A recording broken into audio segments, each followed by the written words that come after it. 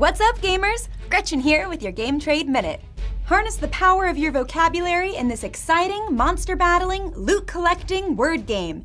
In Spell Smashers, you combine your letter cards to spell words, smashing fearsome monsters and their even more fearsome adjectives. In this game for ages 12 and up, 1 through 5 players will use the power of words to deal damage to a monster and gain precious coins. When you defeat the monster, you collect them as a trophy. Adventure and glory await you as you smash monsters with your spelling skills and rid the world of evil. Ready to test your skills and more? Find this game and others at your friendly local game shop.